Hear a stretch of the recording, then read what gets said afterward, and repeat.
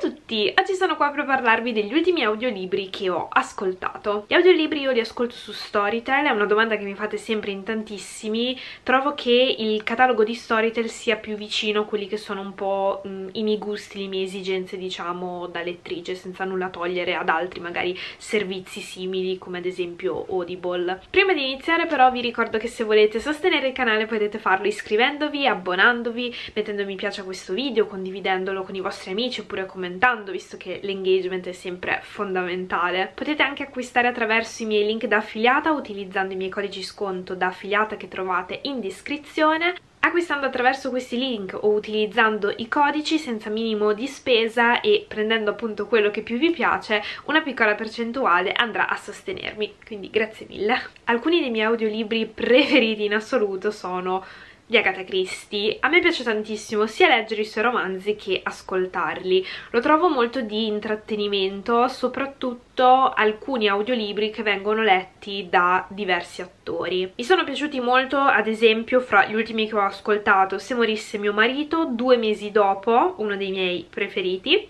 e Corpi al sole. Molto carino anche Miss Marple eh, nei Caraibi, di cui vi ho parlato anche nell'ultimo video Ultime letture, quindi nel caso ve lo lascio nelle schede qua sotto in descrizione. L'ultimo che ho ascoltato di Agatha Christie è stato un messaggio dagli spiriti, che non vede per protagonista né Poirot né Miss Marple. Non ho letto tantissimi gialli di questo tipo, quindi senza un vero e proprio investigatore o diciamo protagonista, quindi ero molto molto curiosa eh, di leggere appunto questo romanzo romanzo ci troviamo in un paesino isolato dalla neve dove un gruppo di persone bloccate appunto da una forte nevicata decide di fare una sorta di seduta spiritica di quelle in cui tutti sono seduti diciamo attorno a un tavolo e mettendo le mani su um, un foglio si lascia muovere, vedere uh, dove lo spirito porta appunto tutte, tutte le mani e identifica delle, delle lettere che poi formano delle parole, insomma non mi so spiegare bene però penso che si sia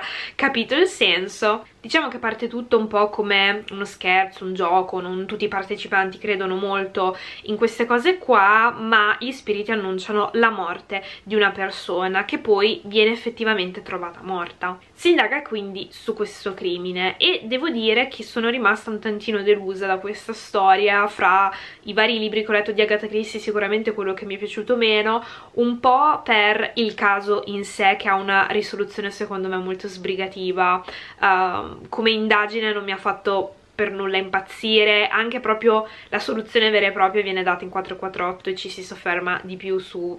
le diciamo questioni personali di alcuni personaggi che non è necessariamente una cosa negativa però in altri romanzi della Christie ho trovato più bilanciate eh, più bilanciati questi due aspetti della storia quindi le storie personali dei personaggi e l'indagine in sé. I personaggi sono abbastanza insipidi, sono bene o male tutti uguali, visti e rivisti, eh, si sente la mancanza di una figura diciamo di spicco che potrebbe essere l'investigatore come eh, ad esempio c'è una ragazza fra i protagonisti che mh, indaga però non è un personaggio diciamo di spessore quindi sono rimasta delusa proprio dal, dal complesso di, di, questa storia. Una lettura invece che mi ha entusiasmata è stata L'avversario di Emmanuel Carrère, di cui su Storytel ci sono anche almeno altri due romanzi se non sbaglio, un romanzo russo e i baffi ho visto inserito in libreria. Comunque L'avversario è uno di quei titoli di cui avevo sentito tantissimo parlare, soprattutto mh, per quanto riguarda il true crime. Non sapevo però effettivamente di che cosa parlasse questa storia, quindi um, gli ho dato una, una, possibilità e sono contenta di averlo fatto perché mi è piaciuto moltissimo. L'autore in sostanza racconta un fatto di cronaca che vede per protagonista un uomo che ha ucciso la sua famiglia e ha tentato poi di uccidersi ma non ci è riuscito. L'autore incontra eh, quest'uomo e cerca un po' di ricostruire la sua storia, che cosa ha portato l'uomo a un gesto così estremo. Tutto parte da una bugia, diciamo piccola, magari anche stupida, però si porta avanti questa menzogna, questa facciata e per proteggere questa piccola bugia se ne creano tantissime altre fino ad arrivare a, ad un punto di non ritorno. In pratica quest'uomo non si è mai laureato in medicina ma andava a dire in giro di essere un medico e anche di spicco la sua famiglia, i suoi amici, cioè tutti erano convintissimi di, di questa cosa. E arrivati a un certo punto però è stato lì lì per essere smascherato e quello è stato il punto di rottura che poi l'ha portato a, a, uccidere la sua famiglia. E niente, io sono rimasta decisamente sconvolta. Um, è una storia che non va nel profondo per quanto riguarda l'aspetto, che so, scientifico uh, del processo però racconta proprio l'aspetto umano. E trovo che sia molto interessante. Un'altra lettura molto interessante che io vi consiglio di fare è ragazzi della Nickel di Colson Whitehead. Il protagonista di questa storia è un ragazzo che per, diciamo, una sciocchezza, per una svista, una leggerezza, finisce in una sorta di riformatorio, scuola rieducativa, che è appunto la Nickel. Questo ragazzo mh, mm, in realtà si è sempre comportato bene, aveva grandi aspirazioni, voleva andare al college eccetera e si ritrova appunto assieme tra virgolette dei, dei criminali in una scuola veramente dura. Tant'è che il romanzo inizia quando vengono ritrovati i corpi di alcuni ragazzi proprio nei pressi di, di questa scuola e, mm, e tutto questo si ispira a una vicenda realmente, realmente accaduta. È una storia che parla non soltanto degli abusi, um, dei maltrattamenti fisici, ma anche psicologici, di razzismo, della discriminazione. È una storia abbastanza forte e dura e dai temi sicuramente molto molto importanti. Io non sono rimasta molto colpita dalla, dalla trama in sé, nonostante io riconosca mh, mm, gli abusi mm, anche di, di, potere. In questa storia è proprio evidente anche il, la differenza di trattamento fra i ragazzi bianchi e i ragazzi neri. Però forse mi aspettavo qualcosa di ancora più forte, ancora più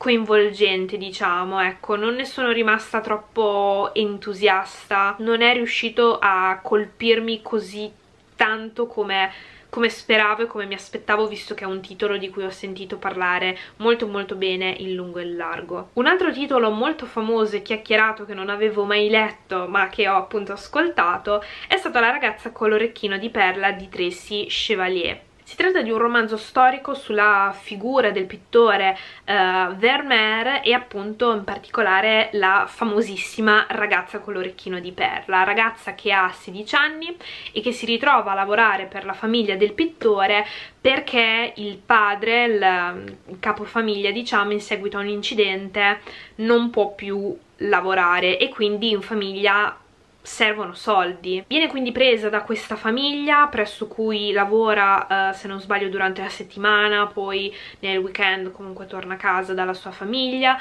C'è quindi un confronto fra due realtà abbastanza differenti perché comunque anche se poi la famiglia del pittore si scoprirà avrà dei problemi eh, economici è comunque una famiglia di una classe totalmente diversa rispetto alla famiglia da cui proviene la ragazza e si trova a maneggiare un po' anche gli oggetti un po' più di lusso, un po' più preziosi della, della padrona di casa e a sognare diciamo anche un tipo di vita diversa. Soprattutto poi quando inizierà a occuparsi anche dell'atelier eh, del suo diciamo padrone quindi a venire a contatto anche con l'arte, la pittura, i colori. È un romanzo molto interessante innanzitutto per l'aspetto storico, per le differenze eh, sociali, per gli usi, i costumi diciamo dell'epoca, il confronto fra eh, cattolici e eh, protestanti. Anche qua però mi è mancato qualcosa, non sono riuscita a entrare molto in connessione con i personaggi, la protagonista l'ho trovata odiosa e un po' infantile, capricciosa, non, so, non, non sono proprio riuscita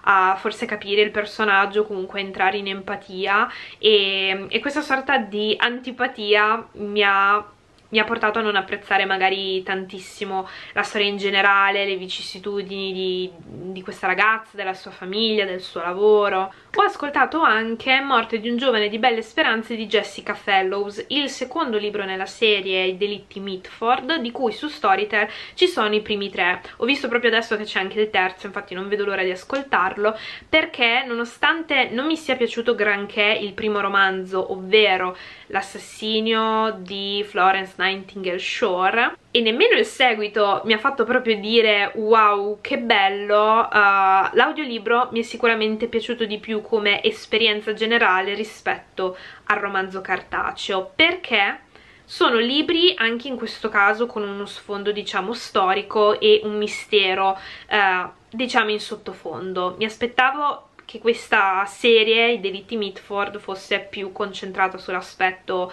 crime, mystery, in realtà è un po' di, di sottofondo. C'è una buona parte che ricopre anche in questo caso la differenza uh, fra classi. Nel primo libro ci troviamo di fronte a una ragazza che va a fare da babysitter eh, presso una famiglia decisamente più, più facoltosa ci sono riferimenti comunque a persone realmente esistite ma le storie, le loro avventure diciamo sono completamente di fantasia quindi aspettandomi una serie diciamo più improntata sul genere crime eh, mi aspettavo qualcosa di forse più